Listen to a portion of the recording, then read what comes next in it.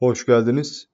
Burada anlatılanlar yatırım tavsiyesi değildir. Kimseye al ya da sat demiyoruz. Karnınızdan da zararınızdan da sorumlusunuz. Abone olup videoyu da beğenmenizi rica ediyorum. Şimdiden çok teşekkür ederim.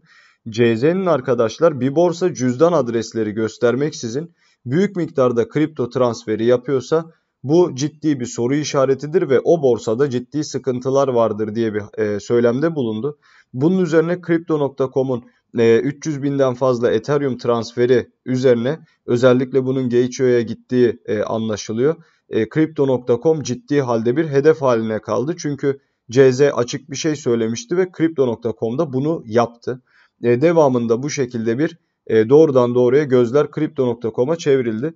Kendileri de yapmış olduğu bir açıklama doğrultusunda bu işlemin yanlışlıkla olduğunu nitekim Gate.io'yla da devamında e, anlaşıldığını dile getirdi. Yani e, bu gibi hareketleri kasten ve bilerek yapmıyoruz.